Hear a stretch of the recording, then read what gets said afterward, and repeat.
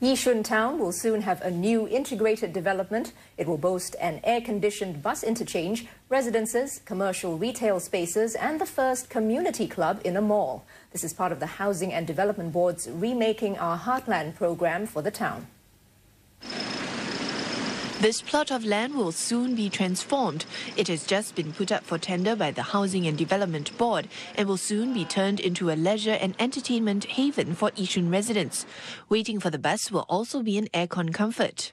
I feel it's good because it's aircon, because the weather we can't take it. So I've been staying here for so many years and it's upgrading now. I feel proud of it.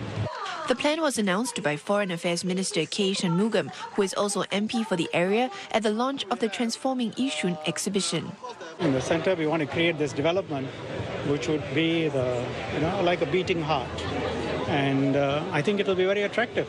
As I said, it will make the facilities more accessible, new eateries, new places for people to go to, new facilities.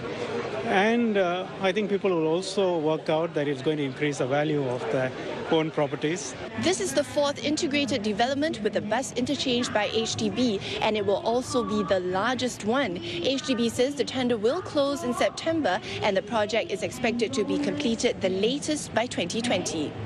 Another thing to look out for is the first community club in a mall.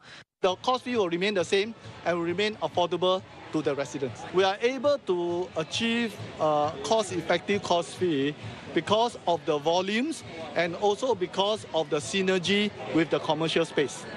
Proposals to rejuvenate Yishun began in 2007 and many projects have been completed or are underway like the 15.5 kilometre cycling path, which is slated for completion in 2015.